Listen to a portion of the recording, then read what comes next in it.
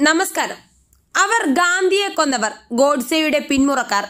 ബാലറ്റിലല്ല വെടിയുണ്ടയിലാണ് അവരുടെ വിശ്വാസം. ഉവൈസി.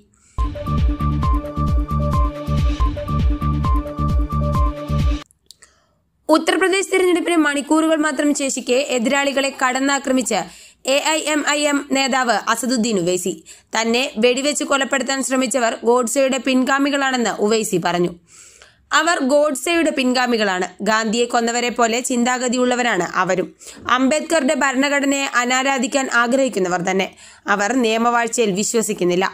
തോക്കിന്റെ ഭരണത്തിലാണ് അവരുടെ വിശ്വാസം. അവർ വിശ്വസിക്കുന്നത് ബാലറ്റുകളെയല്ല വെടിയുണ്ടകളെയാണ്. അസദുദ്ദീൻ ഉവൈസി പറഞ്ഞു.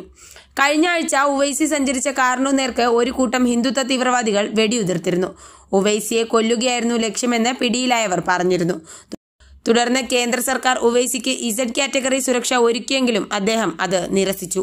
News desk national news.